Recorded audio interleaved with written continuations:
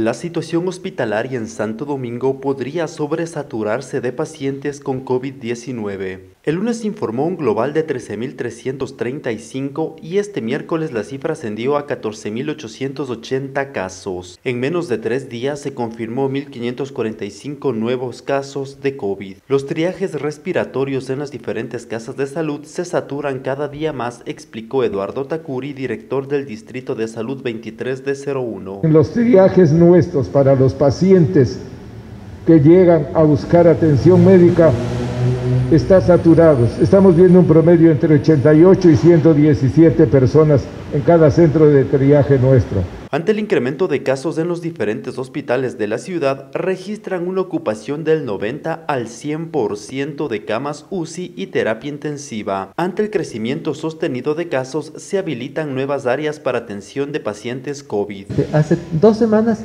nuevamente nos tocó reconvertir de 8, eh, fuimos a 19 camas hospitalarias.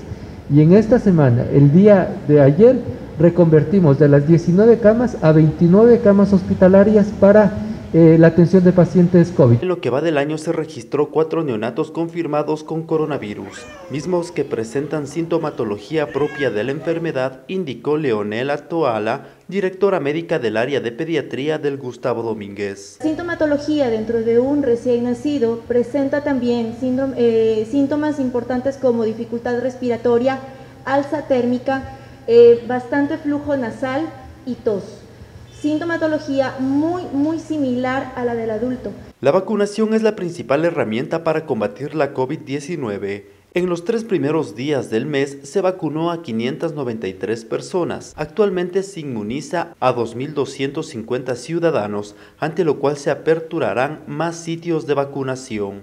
Posiblemente se, abra, eh, se reabra el centro de vacunación de la Universidad Católica Estamos haciendo esfuerzos también para ver si hacemos un centro de vacunación nuevamente eh, en otras instituciones. Se estima que el pico de contagios en la provincia será del 14 al 17 de enero, ante lo cual la posibilidad de contagio se incrementa notablemente. Solicitan mayor precaución por parte de la población para evitar saturación en el sistema de salud.